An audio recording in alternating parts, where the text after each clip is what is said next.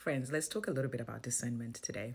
Over the last month, there's a situation that I was presenting before God, like, God, you know, what is your stance on this matter? Like, what do you want me to do um, in this? What are you saying in this? And yesterday, something critical happened that I want to share with you because it's a very important lesson. And as I was meditating on this thing, um, I felt like, you know, the Lord was saying to me about discernment that, you know, really, truly, to discern, you can only discern the will of God based on the amount of the Word of God and the knowledge or the revelation of the character of God that you possess. Stay with me. Let me explain this. I want you to think about what happens with people who, you know, um, are trained to see if money is counterfeit. Okay. So those people go through loads and loads and loads of training. They're not trained to recognize a counterfeit by looking at fake patterns. They are taught to recognize an original. Does that make sense? They're trained for them to be able to discern the originality of money.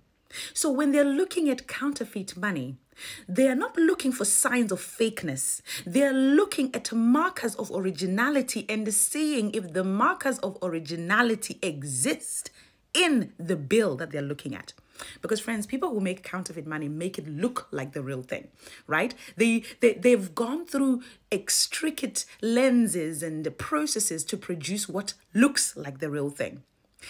So my friends, you as a human being, you have your voice, you have the enemy's voice and you have the Lord's voice competing for your attention. Always know that.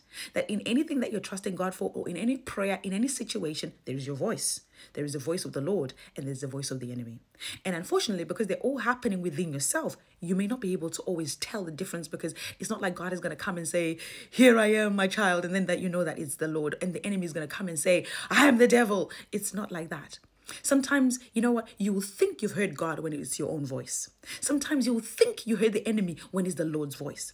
So, discernment is being willing to it's not even a willingness. Discernment happens when someone has gone through the process of training. If the money people would take years to train someone to recognize the intricacies of real money, right? What more us children of God? God was saying to me that, Christina, your discernment about my will in a matter should always be starting from the lens of is God's character reflected in what I am saying? Okay, for example, this person, let's just think about relationships because that's a key thing for a lot of people, right? This person that I'm trying to date, yes, they're a Christian or yes, they're a praise and worship leader. Yes, they even minister the word of God. But when I'm around them, how I feel or how the relationship is or their consistency or or their their way of how the, the, the way that sometimes it's not even about them to be honest they could be a good person they're not doing anything wrong but how i feel with them or what we talk about or what we end up achieving does it have the character of God in it? Does it have the imprint of God? Does it have the fingerprint of God? Does it match who God is? That is what discernment looks like. Discernment is not you trying to figure out who's fake or who isn't. Discernment is having the lens, the magnifying glass of the character of God being the de- decider that you'll be able to say, ah, I cannot see the character of God in this. Many people have given testimonies that they've said, look at what the Lord has done, and the Lord has not done it. It is our own lives and our own things. And the Lord is probably saying, My child, if only you spent time in my word, if only you knew me, if only you knew my character, you would know that my thoughts towards you are good. I will not send you to be in a place where you are in struggle, love. How can you say that this is my testimony? How can you say that this is the Lord's doing when you are struggling like this? when you are convincing people of your worth and you say this is my testimony and you say i brought you this person because they're a worship leader or they're a pastor or they're whoever only you knew, like what Psalm 139 says, that the thoughts that I have towards you are so vast. And then you go to Jeremiah chapter 29, verse 11, and you understand that the thoughts are beautiful. The thoughts I have towards you are perfect. They're of good and not harm. So why would you think I would send you in harm's way? Why? And connect that with the Lord. So, my friends, we need to be able to be discerning, but based on the character of God. Don't put yourself in jobs and relationships and situations where you're saying, But I thought this was the one. I thought I heard God. No, you heard your voice, you heard your desires. And sometimes you heard the enemy because the enemy wants us to connect with people who keep the things in our bloodlines going.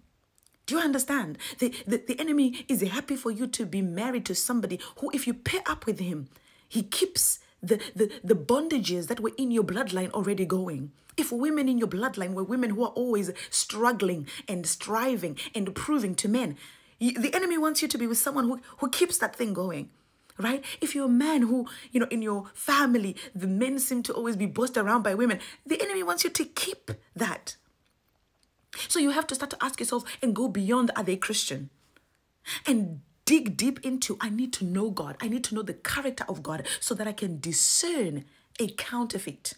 Don't spend so much time checking, oh, is this thing is because you're going to be confused. Because there's going to be aspects of them that's going to be great. And then you go like, maybe, maybe I just need to be more patient. Maybe I just need to be more this because you're missing the fact that God in and of himself, he doesn't change. Hebrews chapter 4 verse 12 says to us that the word of God is sharper than any any other double-edged sword, separating bone and marrow, dividing things. Bone and marrow, imagine how close they are together. Only the word of God can make those divisions. So discernment, discernment, my friends, don't say it to yourself, I've got the spirit of discernment, what, what, what, what. That's, you may have the gift of being sensitive, but discernment in and of itself is trained by the word of God. You have to enter the school of the Holy Spirit to know the character of God, to know how God speaks, to know how God acts. So that, like Elijah, when you're faced with a situation where you know what, what's happening is that the Lord wants to talk to you, but there's an earthquake, you know, and there's a fire, you will stay still because you know that God is not in this.